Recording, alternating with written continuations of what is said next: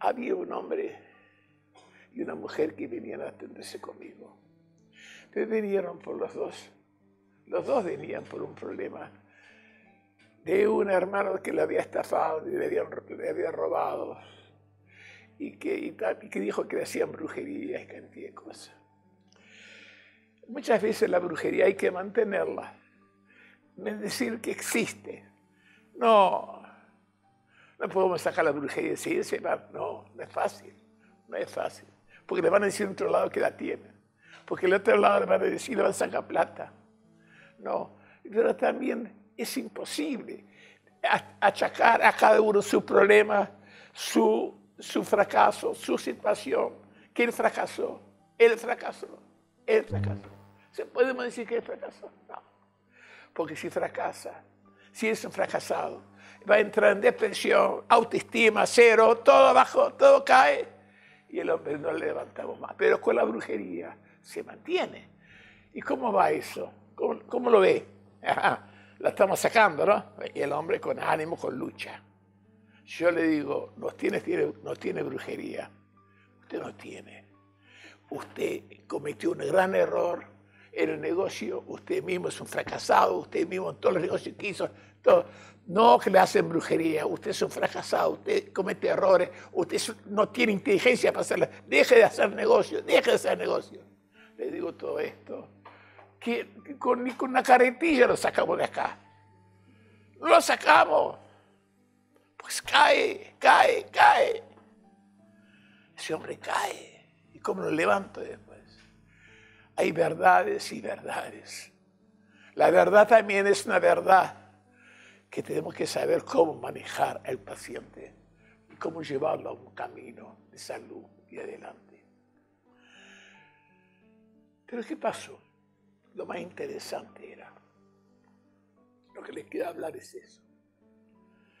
Si en, este, en esta situación pasó esto, yo le dije, vamos a hacer una regresión, porque había algo, algo en esa vida, eh, algo en ellos que me llamaba mucho la atención, que yo quería saber por qué, por qué pasaba eso, por qué pasaba eso.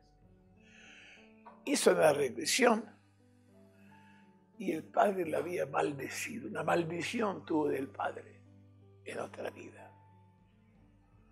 E, eso debe haber sido épocas, Edad Media, más siglo XVI o siglo XV o siglo XIV.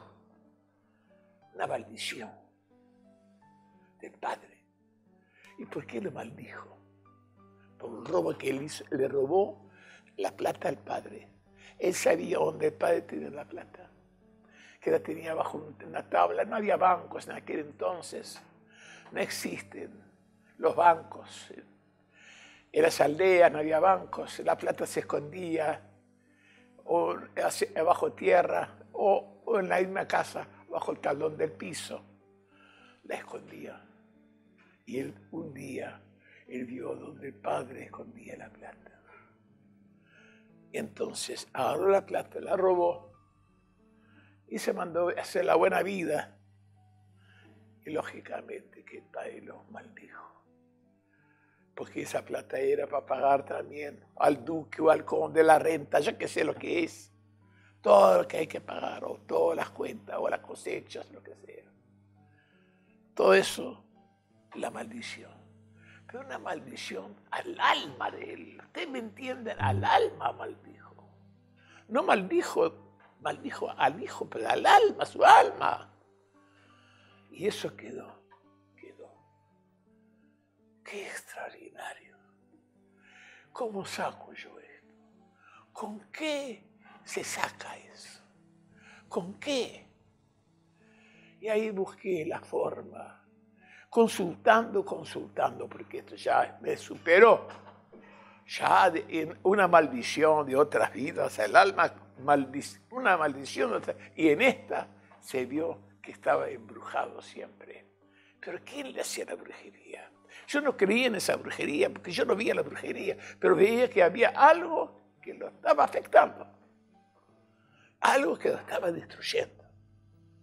No puede ser que esto esté mal, que esto esté mal, que esté mal. No puede ser que todo esté mal, no puede ser. Este hombre todo le hace mal. y un hijo se le había ahogado, otro hijo le, se murió un accidente. No, no puede ser, no puede ser, no puede ser, no puede ser todo eso. No creo en todo eso. Yo creo en la brujería, pero no había la brujería, no la pude palpar qué brujería. Si era vudú, no es vudú. Si era esto, no era. No era. No era. Era Kimbanda tampoco, no era. ¿Qué era? ¿De dónde viene esa brujería? No la conocía esa brujería. Yo meditaba con él y quería saber dónde viene, qué es lo que tiene. Yo digo, vamos a hacer la regresión. Y cuando hicimos la regresión, apareció la maldición. El padre lo había maldicho. Pero el padre, ¿qué padre? ¿De qué época? ¿Cuántas generaciones pasaron? Le pregunté a él, del padre de él. Mi padre se suicidó. Ah, se suicidó. Dios querido.